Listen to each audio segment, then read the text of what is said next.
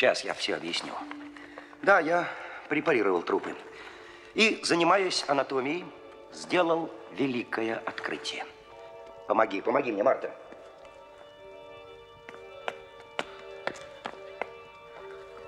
Сейчас вы во всем убедитесь, сейчас.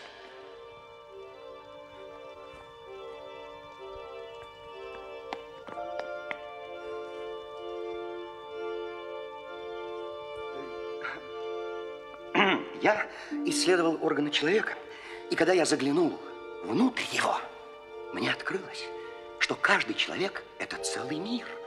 Внутри него текут реки, ручьи, полные животворной влаги. А то, что мы называем там сердце, легкие, это, это материки. Это же острова, омываемые океаном, и обитают в этом мире, как я полагаю, тысячи крошечных существ, живущих в согласии друг с другом. И когда я это понял, я сделал еще одно открытие. Я, вы, вот эти стражники, вот эта девочка, все мы, суть, крохотные существа, живущие в одном едином живом организме, имя которому Земля. Реки, реки – это жилы, по которым течет ее голубая кровь. Европа, Азия, Африка, матери э, – это ее сердце, ее легкие облака. Это пар от ее дыхания. И вот к какому выводу я пришел.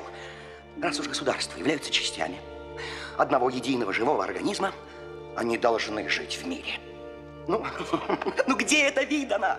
Чтобы правое легкое воевало с левым, чтобы печень старалась захватить часть селезенки. Люди узнают о моем открытии, на земле прекратятся войны, и наступит золотой век благоденствия.